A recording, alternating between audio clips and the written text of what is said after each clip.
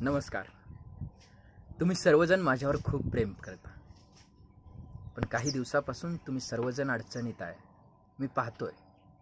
पण मला फक्त कोणताही अडथळा न जुमानता समाजसेवेचं कार्य करायचं आहे. आणि त्यासाठी तुमच्या सर्वांचे आशीर्वाद हवेत. आजपर्यंत आहेतच तसेच पुढे हवेत काही कारणामुळे तुम्हाला त्रास झाला. आपल्यातीलच काही जणांना तुम्ही विश्वास ठेवलात आणि निवडून दिलं आणि त्यांनी तिथं गेल्यानंतर आपला विचारही केला नाही त्याचा त्रास होतोय तुम्हाला. जाणवतोय मला. पण आता लवकरच निवडणुका येत आहेत. परत एकदा तुम्हाला संधी मिळाली. त्या संधीचं आता सोनं करायचं आहे. त्यासाठी तुमच्यातीलच एका उमेदवाराला निवडून द्यायचं आहे. मी काय राजकारणी किंवा पुढारी नाही त्यामुळं मी भाषण करू शकत नाही.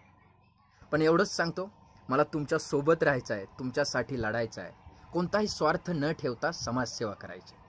आणि त्यासाठी तुमचं प्रेम साथ आणि सोबत हवे. येतो नमस्कार.